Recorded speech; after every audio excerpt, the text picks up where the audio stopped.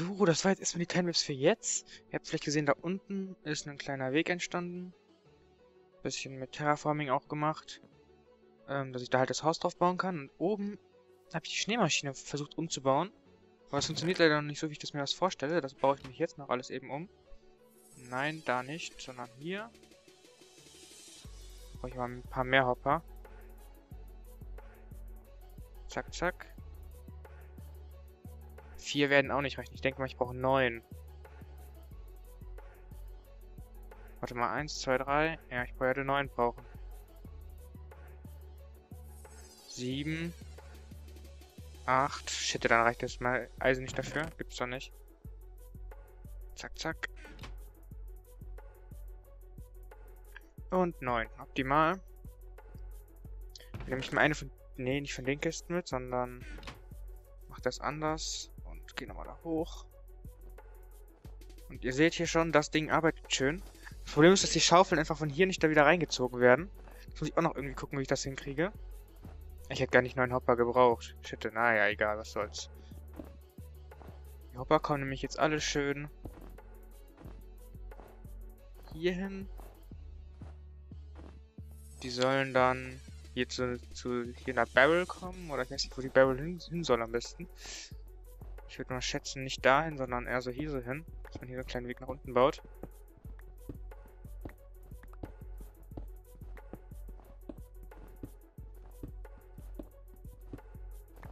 Zack, zack. Dann bauen wir die Barrel mal eben ab.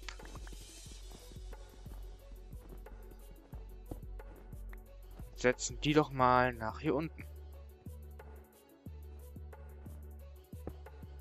Dann können wir sie wieder mit Schnee befüllen. Zack, zack. Optimal. Und dann werde ich hier zwei Trichter dran klatschen. Schneemann, bitte fall jetzt nicht runter. Ne, der Schneemann wird gleich runterfallen, hundertprozentig.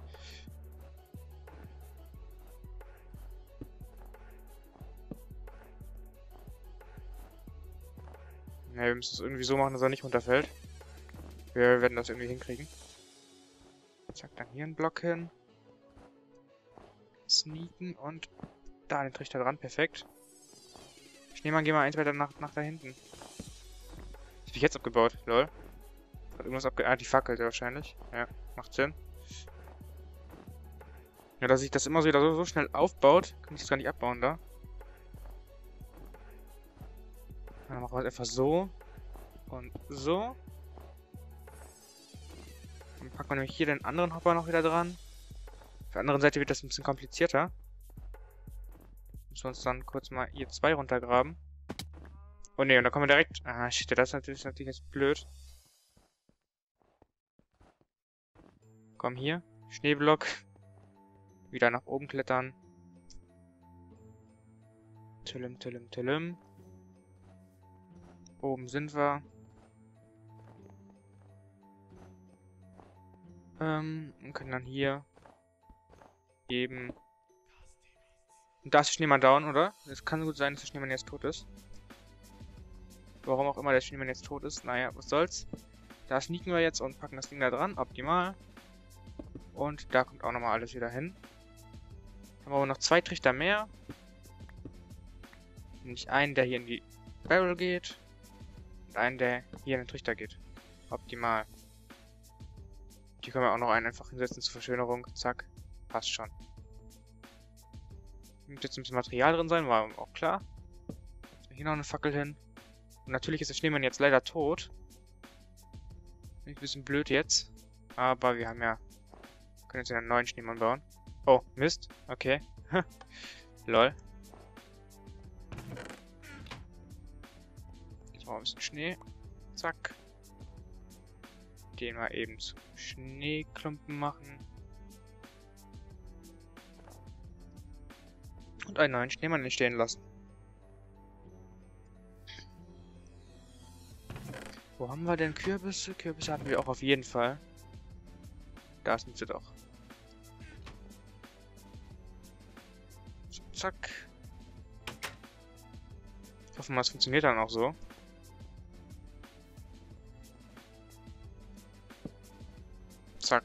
Ein neuer Schneemann. Uh, hey. Der macht Schnee. Was macht... Aber er macht keine Schneeplattform, kann das sein?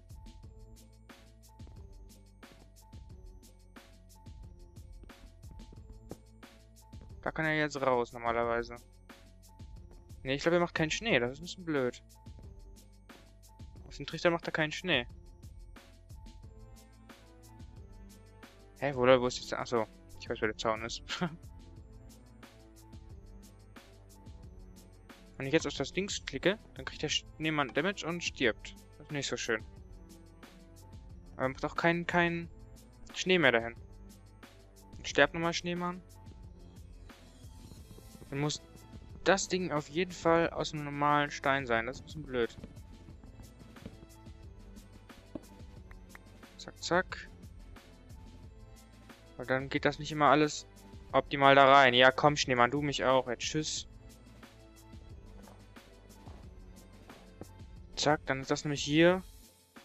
Dann ist dieses Schnee-Dings, den es hier gibt. Und der Trichter soll dann da rein zeigen. Und hier wird dann wieder ein Schneemann hingebaut. Natürlich habe ich jetzt keinen Kürbis mehr dabei. Aber ich kann auch einfach nach hier oben gehen. Zack machen.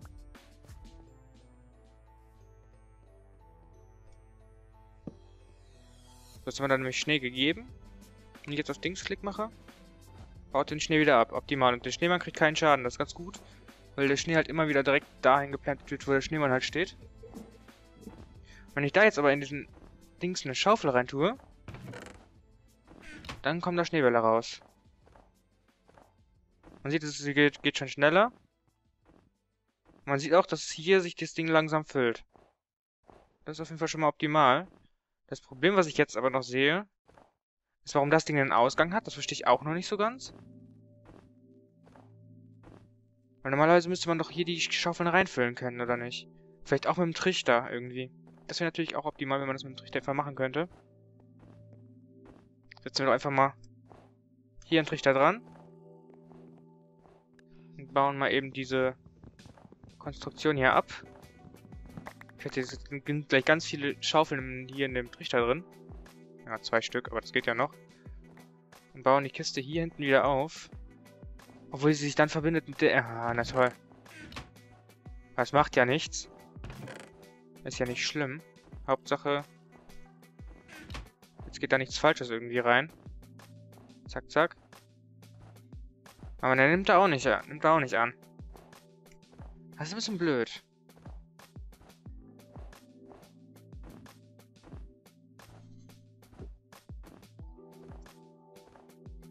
Das ist ein bisschen sehr, sehr blöd. Dass er das jetzt nicht annimmt.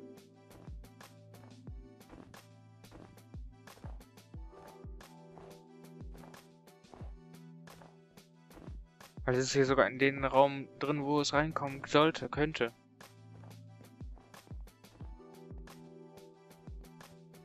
Und der ist dann einmal jetzt dann durch so eine Cobblestone ähm, da reingefüllt wird. Wo haben wir sie? Da haben wir sie. Ich glaube aus diesen Dings mache ich dann eine komplette Folge.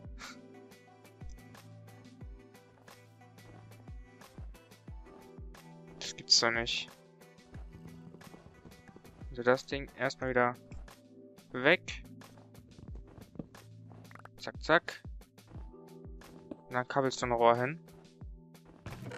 Wenn ich dem jetzt sagen würde, komm, zieh mal da raus. Ah, macht er macht er auch nicht. Macht er gar nicht erst. Steht auch noch eine Barrel vor und pipapo.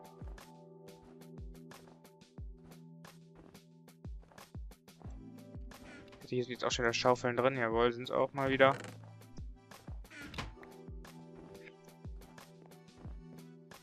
Das Dumme ist, dass wenn ich dann eine Wooden Pipe hinsetze, die muss dann bepowert werden und pipapo. Ein bisschen blöd. Man sieht auch hier, das ist nicht gerade so effektiv, weil hier kommen ganz, ganz viele Stäbe einfach nicht da rein. Gibt es nicht irgendwas wie einen Vakuumhopper oder sowas? War... Vakuumhopper. Oh. Open Blocks. Nice. Ähm... Das bauen wir jetzt einfach mal. Ein Obsidian ist ja jetzt nicht ganz, ganz so teuer.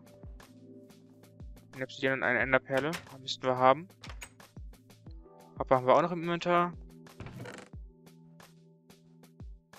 Wo haben wir denn jetzt eine Enderperle? Enderperle, Enderperle, Enderperle. Ah, nicht, nicht da, sondern ein höher, genau. Enderperle und ein Obsidian. Oha, sieben Stacks einfach. Einfach mal sieben Stacks. Das ist echt heftig.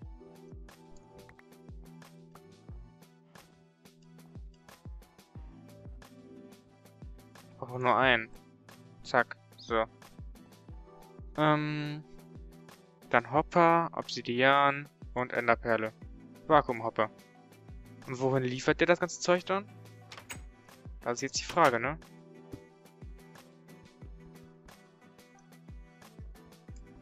Wie, wie baue ich das Ding wieder ab? Also gut.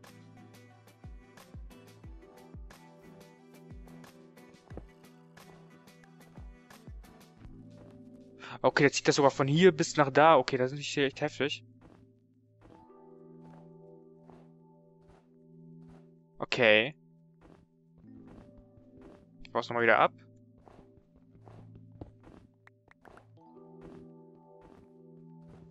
Kann ich die ganze Collage hier auch abbauen. Dann mache ich hier nämlich wieder ganz normalen Stein hin. Da ist wieder die nächste Schaufel kaputt. Sehr schön.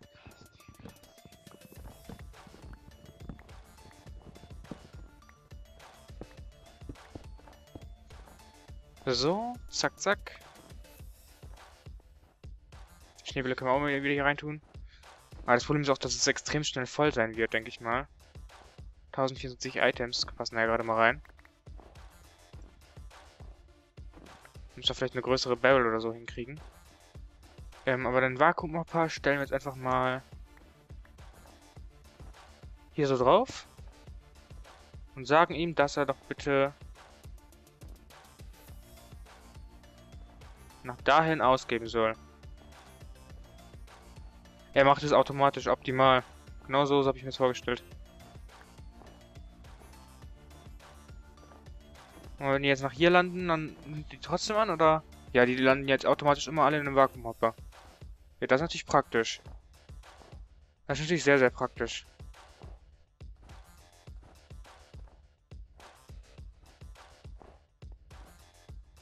Und jetzt müssen wir noch irgendwie das Problem beheben, dass hier die Schaufeln einfach da reinkommen.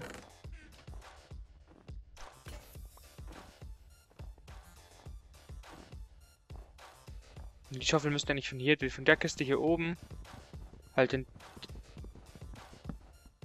das Teil unten rein, aber das will er ja nicht. Weil das ist eigentlich Eingang, so. Naja, falsche Seite, aber das ist hier. Ne, auch falsch. Hier? Ja, hier ist richtig, genau. Hier müsste jetzt eigentlich Eingang sein, genau. Normalerweise müsste man sich dann die Dinge einfach da rausziehen, oder nicht? Wenn mich alles täuscht. Zack. Tut er aber nicht.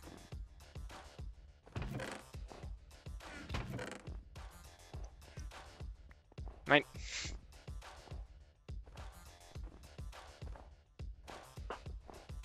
Jetzt bräuchte man noch einen Autopacker oder so, damit das automatisch zu Blöcken gemacht wird.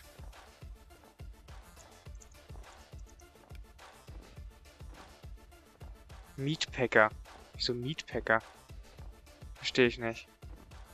Kann er nur Meat packen oder was ist da los? Wieso... Meatpacker. Mein Factory Reloaded. Ich baue den, glaube ich, einfach mal. Das wird schon eine ziemlich lange Folge. Ich meine, ich beende die Folge hier mal an dieser Stelle. Ihr seht ja, dass hier das schon alles wunderbar funktioniert. Und dann sage ich mal bis zur nächsten Folge. Man sieht sich. Ähm, lasst eine kleine Bewertung da, wenn es euch gefallen hat. Checkt die anderen Kanäle aus und man sieht sich in der nächsten Folge. Bye, bye.